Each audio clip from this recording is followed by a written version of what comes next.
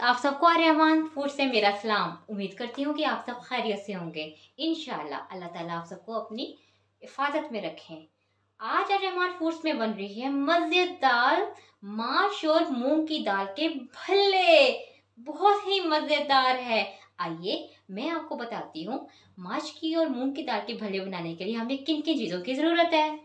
जी viewers one teaspoon मैंने लिया है नमक हाफ़ टी स्पून मेरे पास है ज़ीरा थ्री टेबल स्पून मेरे पास बेसन है और एक छोटा सा मैंने आलू लिया और उसको उबाला और अच्छी तरीके से मैश कर लिया। एक कप मेरे पास मूंग की दाल, एक कप मेरे पास मूंग की दाल है और एक कप ही मेरे पास माछ की दाल है। इन दोनों दालों को मैंने चार से पाँच घंटे के लिए पानी में भिगो के रख दिया। आइए अब झटपट से मज़ेदार से भल्ले तैयार करते हैं। जी वीवर्स भल्ले तैयार करने से पहले हमने माश और मूंग की दाल को ब्लेंडर में डालकर अच्छे तरीके से ब्लेंड कर लेना है। अगर तो आपके पास चॉपर है तो आप चॉपर में चॉप कर लें। और इसके अंदर बिल्कुल थोड़ा सा पानी ऐड करना पड़ेगा, ताकि ये अच्छे तरीके से ग्रैंड हो जाए। जी व्यूवर्स, आप देख सकते हैं, मूंग और माछ की दाल को मैंने बहुत अच्छी तरीके से ग्राइंडर में ग्राइंड कर दिया है। अब मैं इसके अंदर ऐड करूँगी नमक, ज़ीरा थ्री टेबल स्पून मेरे पास बेसन है, मैं बेसन ऐड करूँगी।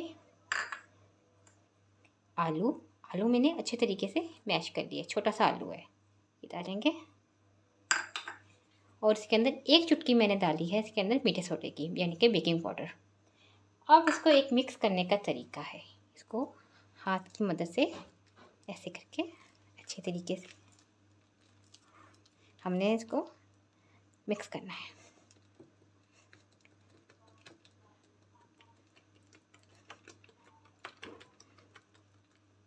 ये इतने अच्छे और मोटे मोटे फ्लफ़ी फ्लफ़ी से बनेंगे ना कि बस। बैटर बहुत अच्छे तरीके से तैयार हो गया है।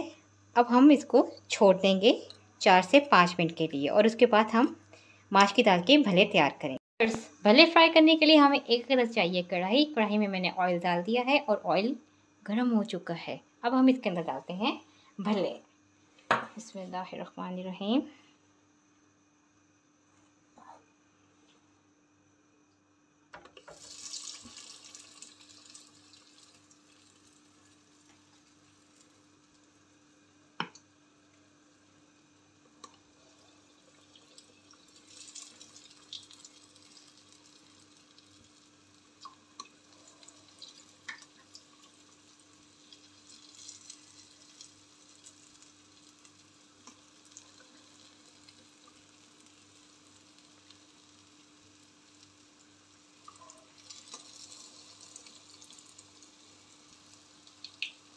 अब हम इन जी वीवर्स बहुत प्यारे कलर के भल्ले तैयार हो रहे हैं, इतने मज़े के फ्राई हो रहे हैं। आपने भी इसी तरीके से भल्ले फ्राई करने हैं।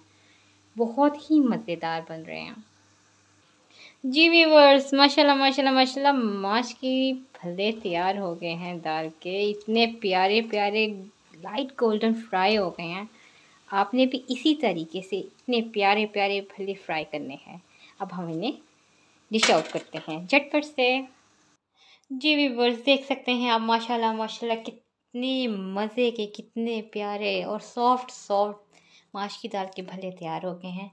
आए, अब हम इनके भले बनाते हैं मसालेदार, ऐसे मज़ेदार से।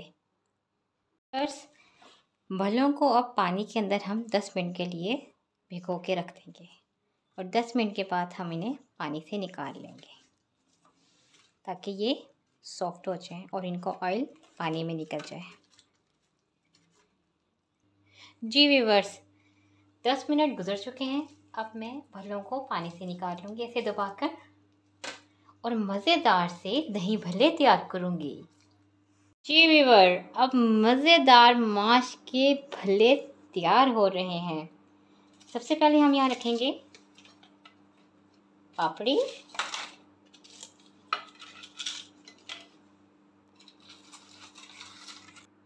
जी व्यूवर्स मैंने दही को तैयार किया है, भले के दही को।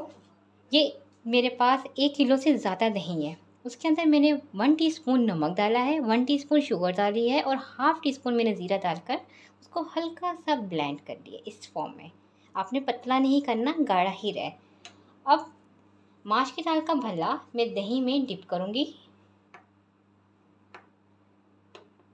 और इस तरीके से हम इसे वन बाय वन रखते जाएँगे। जी व्यूवर्स भले मैंने सारे अच्छे तरीके से दही में डिप कर कर लगा दिए हैं ट्रे में। दही भी घर में बना हुआ है, पापड़ी भी घर में बनी हुई है, सब कुछ घर का तैयार है। आप भी इसी तरीके से अपने घर में सब कुछ बसानी बना सकते हैं। अब मैं ये सारा दही इसके ऊपर ऐसे सेपरेट कर दूँगी। बहुत ही मज़ेदार नरम नरम से भल्ले तैयार हो रहे हैं।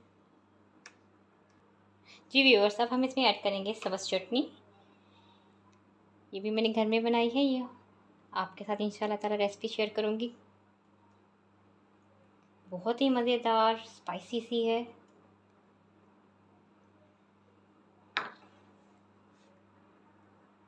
जी व्यूवर्स अब इसमें हम ऐड करेंगे मज़ेदार खट्टी मीठी इमली की चटनी। इंशाल्लाह इसकी भी रेसिपी मैं आपके साथ शेयर करूँगी। बहुत ही मज़ेदार रेसिपी है। इमली की चटनी को सेव करने के लिए ये है कि आप इसको अच्छे से जार में बंद करके रख दें। अगर आप इसके अंदर गीला चमचा ऐड करेंगे ना तो ये जल्दी से ख़राब हो जाती है और इसे उरली सी जी व्यूवर्स अब इसमें हम डालेंगे गरम मसाला। भल्ला मसाला। चाट मसाला। धनिया। सब्ज मिर्चें।